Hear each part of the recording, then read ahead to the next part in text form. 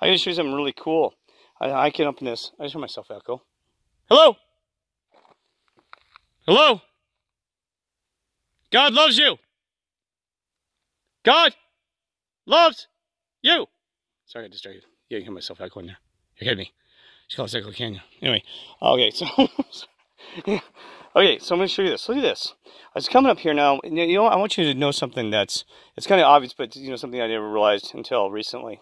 That every rock that's sitting on top of another didn't fall naturally. That man moved it. So sometimes it can be a rock that was moved by a modern time man, or you know sometimes you do it to, to mark something. Sometimes somebody's bored, but usually somebody's trying to mark something or indicate something, right? Well, I came across this and noticed that this, this rock did not fall on itself naturally. Guess what? The Native Americans actually use this to grind something. You can see the grind work. See how it's got those grooves in there? And these are big rock. Are you kidding me? What were they grinding? Was it grain? Was it uh, some of the plants? I mean, look at how big that thing is. I mean, look at the size of this thing that they were using. So I'll come around a different angle. See how you can see the grooves? And they did it a lot more than once because look how much it's worn, the uh, the rock. See?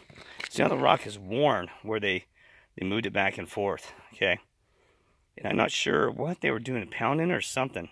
But anyway, so that's the thing too is, uh, so sometimes you'll find something, uh, you know, Native Americans, um, I think, you know, in general, that you'll find something if you see a rock that they mark something sitting on top of another rock or, you know, things like that. Because even people today, they'll do that. They'll stick rocks there.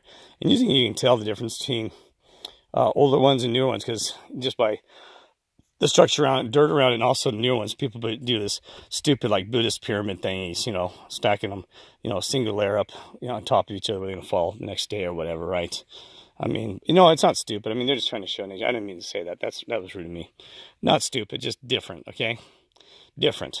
Because I was like, those rocks. You know, why do you do that? that to, to me, it's kind of it's kind of cool once, and it's like, wow, really, just uh, six six uh, little round rocks on top of each other. Uh, one guy saw me make a rainbow with uh, rocks. That was kind of cool, actually. But anyway, so look at this. You got that, you got a groove working.